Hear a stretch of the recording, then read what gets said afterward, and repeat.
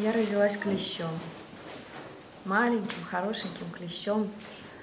Все говорили, ой, какая хорошенькая, какая красивая. Я ходила в детский садик, у меня были друзья, маленькие клещи. Я ходила в школу, я слушалась маму и папу, я делала все-все, что мне говорили, и мне всегда хвалили.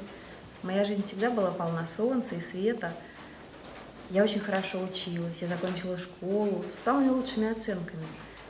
Я лучше всех клещей выучила наше главное искусство – выпивать ровно столько крови у человека, чтобы выжить самому, то есть утолить свою жажду, свой голод и пойти дальше, искать нового человека, новые запасы.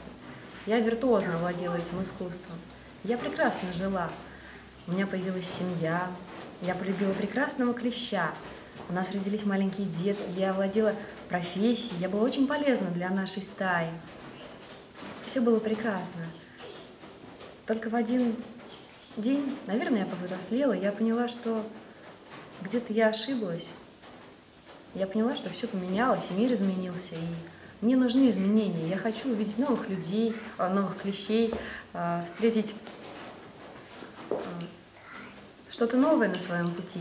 Может быть, я ошиблась со своим предназначением. Я хотела искать, я хотела идти дальше.